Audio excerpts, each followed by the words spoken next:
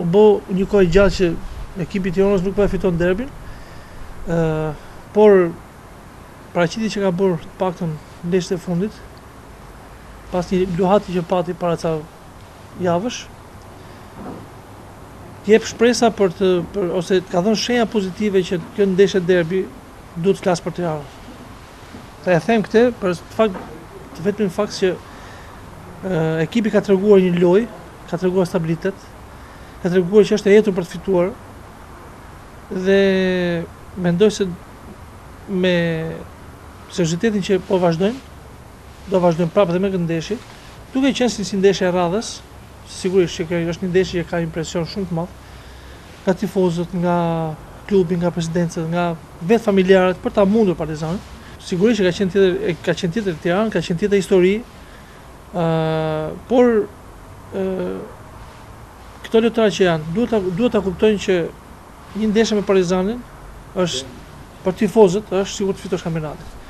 A besoj se e din, por mendoj që ka ardhur momenti që ta kalojnë këtë këtë ngërç që, që i ka zënë të paktën ndeshje derbi. Të gjithë ekipet kanë një pikë të dobët, ë nuk mund ta veçosh ti se ku është fiks, sepse atë e din vetë trajneri, sepse ai e ka edhe mund ta studiojë edhe më ndryshe, por kam përshtypjen që mungesat që ka Partizani, të paktën me Trashin, i cili është një lojtar shumë i rëndësishëm për Partizanin, që është një mungesë me, me të vërtetë që i ka kryer shumë punë, kam përshtypjen që është një, një armë minus për Partizanin dhe një, një gjë plus për të.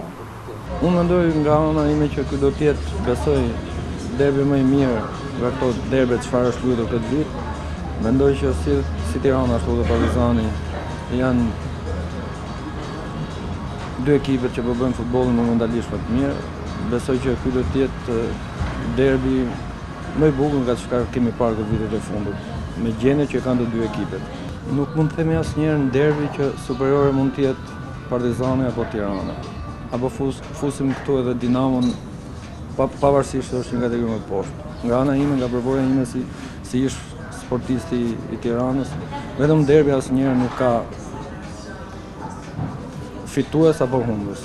Derbi është i paparashikueshëm, nuk varet nga renditja, që mund të jetë Partizani në vend të parë dhe dhe Tirana në mes tabelës apo anasjelltas Tirana mund të jetë vend parë dhe dhe Partizani mund të jetë.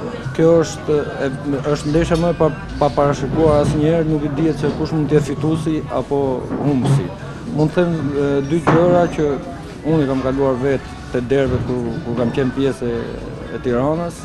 90 minutat e derbit janë të paparashikueshme për vetë faktin se në derbi Është një një rezultat që edhe ai që pretendon që mund të jetë kampion në thojza themi që e ka të gabuar që mund të fitojë ekipi që është më poshtë. Besoj që nuk mund të nisemi nga renditja që mund të fitojë Partizani apo Tirana. Derbi momentalisht janë dy ekipet që janë më në formë, që bëjnë futbollin më të bukur. Besoj se do të jetë spektakël. Unë unë mendoj Pika më më e dobët te te Tirana ose me çfarë kemi parë këto ndeshjet e fundit që Tirana ka që është goditur nga Partizani ka qenë mbrojtja, faza mbrojtëse. Unë besoj që me kalimin e kohës Mema ka ka bërë diçka specifike që po të shohim po po të shikojmë që me Turtullin dhe dhe një herë me me me Imamin edhe mund të themi që ka rekuperuar diçka, por por do të themi gjithmonë duhet të jetë në fazën mbrojtëse duhet të jetë nuk duhet të lëmë vetëm pjesën e mbrojtjes, por duhet mbrojë gjithë ekipi. Besoj se kjo Mema e ka konsoliduar më mirë këtë pjesë.